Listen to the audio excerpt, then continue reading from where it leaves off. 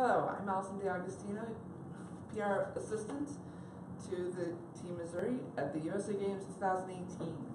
Welcome, and I today is another recap, of course. Uh, today I actually had a lot of fun, as per usual.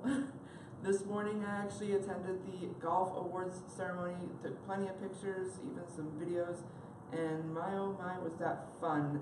And so it was a lot of waiting too, because I ended up arriving 45 minutes early. so I got to talk to some media people while I waited, and um, I even got to chat with so, some of the golf team that was up in the audience part as well. And afterwards, I actually kind of just walked around the place, explored what was left, you know, and even learned what Lyft is, because I kept seeing signs for it, and I'm like, hmm. so it turns out Lyft is like a cheaper version of Uber. So that's something new. for me at least. And afterwards, like I just got so tired and wanted to rest for a little bit, and I bumped into uh, someone I interviewed the other day. Uh, in fact, you might have seen her interview or read her story that that I wrote personally. Uh, her name is Audrey, and she is such a nice woman, and I always forget that she's actually a mentor of a friend of mine who's also an athlete, Daxton Miller. and we just chatted a bunch and got reacquainted and exchanged phone numbers as well because I realized I didn't have hers even though we were were Facebook friends already. And I guess after that I just used the transit to get back to the dorm and started working on the story that I was supposed to that was supposed to be up yesterday, surprisingly enough. And anywho though, let's get to the interview that we're that you are all waiting for. Tonight's we are getting basketball. Come on in, guys. now, for those who don't pay attention to basketball, tell them your names. Yeah, I'm uh, Chris Clark. I'm the head coach of the basketball team. And here we got Hayden Windsor and Eric Alexander. All of you are awesome every time. Yeah, our games have been uh, quite the thriller, as Brandon likes to say. yeah, I bet. so, I guess, what was the first game like? It was like the prelims, was it? Yes, our first game was against Washington, and it was a game that we got all of our, our jitters out. Um, we, we didn't fare so well against them. They ended up getting bumped up to another division, which was good for us. Um, but after that first game, we learned a lot of how the gameplay is here at the national level, Yeah. and uh, we, we took off from there. Um, our gameplay started to become more of a team gameplay rather than an individual. Um, all of our games were incredibly tight each time.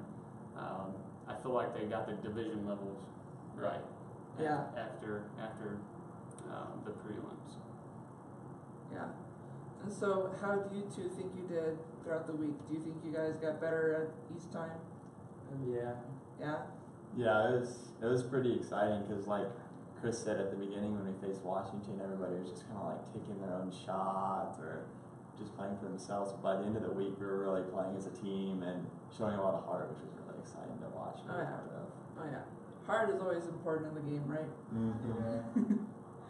So, I understand all of you, this is your first time here at the USA Games. What did you all think of the opening ceremony? Oh, that was amazing. Um, a bunch of us, Hayden and I, and uh, some other Unified partners, I think Robbie, um, Greg, we all, during the concerts that was going on, we all got up on the middle stage, um, started Yeah, that dancing a with the athletes. It, uh, it was incredible. I had such a blast. I know all my athletes had a blast. Um, can you say anything about? I mean, it, it was just exciting, something new to get to see, ob- obviously meet with people, you know. Yeah, it was crazy. I didn't expect there to be that many people because they kept like even just walking down to the waiting area. I was like, man, there's a lot of people. then we got to the first like auditorium. I was like, wow, there's a ton of people. And then we walked into the final stadium. I was like, oh my gosh, it's Yeah. unbelievable. And did you expect all those celebrities just coming for the ceremony to talk? No, that was that was the, the incredible part. Seeing all the you know Hall of Fame athletes that came, um, the different CEOs for the company to come and speak to the athletes and speak to everybody, uh, volunteers, coaches. Um, it was inspiring, uh, to say the least, and it was just a, an awesome way to um, get that inclusion revolution going for the USA Games. So. Yeah. And what, what did you guys play today? Yeah. Yeah. Who are you playing against? Uh, we played against Alaska. Alaska. Mm-hmm. Did they got game? Yeah, they're pretty good. Yeah. It was a it was a good game. It was the gold medal match, um, and we played them once before, and we barely won, but it was a really close game. And I think this time both teams played really well, um, but at the end they came out on top. But all of our guys showed so much, like I said, hard, and they played hard every second of the game. And, um, So did you, right? oh yeah, yeah, it was a battle, and it was a lot of fun and uh, a lot of good sportsmanship on both sides um, before and after the game throughout. Yeah. That was really cool to see. Yeah. And so far, I mean, I know we only have like a few days left, really. Uh, but what what do you two? What are your favorite parts of this week so far? Um, I guess,